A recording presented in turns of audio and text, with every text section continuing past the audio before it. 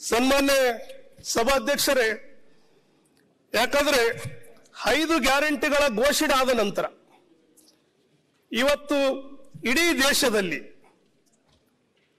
ಆರ್ಥಿಕ ತಜ್ಞ ಯಾರಾದರೂ ಇದ್ದರೆ ಮುಂದಾಗಿರ್ಬೋದು ಹಿಂದಾಗಿರ್ಬೋದು ಇರುವಂತ ಆರ್ಥಿಕ ತಜ್ಞರು ಯಾರಾದರೂ ಇದ್ರೆ ಅದು ಸಿದ್ದರಾಮಯ್ಯ ಸಾಹೇಬರು ಅಂತ ಹೇಳ, ಹೇಳಕ್ ಬಯಸ್ತಾ ಇದ್ದೀನಿ ಸನ್ಮಾನ್ಯ ಸಭಾಧ್ಯಕ್ಷರೇ.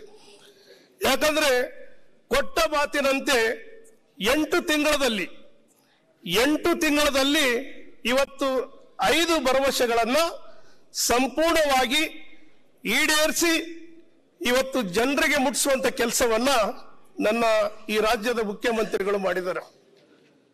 ಸನ್ಮಾನ್ಯ ಸಭಾಧ್ಯಕ್ಷರೇ, ಅದರ ಜೊತೆಗೆ ಇವತ್ತೇನು ನಾವು ಆತಂಕಕ್ಕೆ ಒಳಗಾಗಿದ್ವಿ ಈ ಐದು ಯೋಜನೆಗಳಾದ ನಂತರ ಅಭಿವೃದ್ಧಿಯ ವಿಷಯದಲ್ಲಿ ನಮಗೆ ಕಡಿಮೆ ಆಗ್ತದ ಅನ್ನೋ ಭಾವನೆಗಳಿಂದ ಇದ್ದೀವಿ ಆದರೆ ಅಭಿವೃದ್ಧಿ ವಿಷಯ ಬಂದಾಗ ಕೂಡ ಇವತ್ತು ನಮ್ಮ ಇಡೀ ಕರ್ನಾಟಕ ರಾಜ್ಯದಲ್ಲಿ ಎಲ್ಲಿ ಕೂಡ ಅಭಿವೃದ್ಧಿ ವಿಷಯದಲ್ಲಿ ಕುಂಠಿತ ಆಗದ ರೀತಿಯಲ್ಲಿ ಇವತ್ತು ಉದಾಹರಣೆಗಾಗಿ ಎರಡು ಆದಂತ ನನ್ನ ವಿಧಾನಸಭಾ ಕ್ಷೇತ್ರದಲ್ಲಿ, ನನ್ನ ಜಿಲ್ಲೆಯಲ್ಲಿ ಒಳಗೊಂಡಂತೆ ಬಿರ್ಜ್ಗಮ್ ಬ್ಯಾರೇಜ್ ಅನ್ನ ನೂರ ಐವತ್ತೆಂಟು ಕೋಟಿ ರೂಪಾಯಿಗಳನ್ನ ಮೊನ್ನೆ ಕ್ಯಾಬಿನೆಟ್ ಅಲ್ಲಿ ಅಪ್ರೂವಲ್ ಕೊಟ್ಟು ಈಗಾಗಲೇ ಟೆಂಡರ್ ಪ್ರೋಸೆಸ್ಗೆ ಹೋಗಿದೆ. ಅದರ ಜೊತೆಗೆ ಮುಂಚಿತವಾಗಿ ನೂರ ನಲವತ್ತಾರು ಕೋಟಿ ರೂಪಾಯಿಗಳನ್ನ ಕೆರೆ ತುಂಬುವಂತ ಯೋಜನೆಯನ್ನ ಅಂದ್ರೆ ಒಂದೊಂದು ವಿಧಾನಸಭಾ ಕ್ಷೇತ್ರಕ್ಕೆ ಈ ರೀತಿಯಾಗಿ ಇಡೀ ಕರ್ನಾಟಕ ರಾಜ್ಯಾದ್ಯಂತ ಬರ್ಬೋದು ನಿಮಗ್ ಕೂಡ.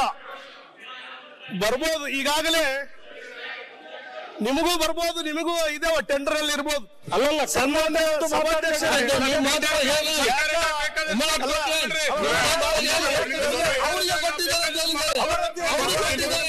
ಕರ್ನಾಟಕ ಹೇಳ್ತಾರೆ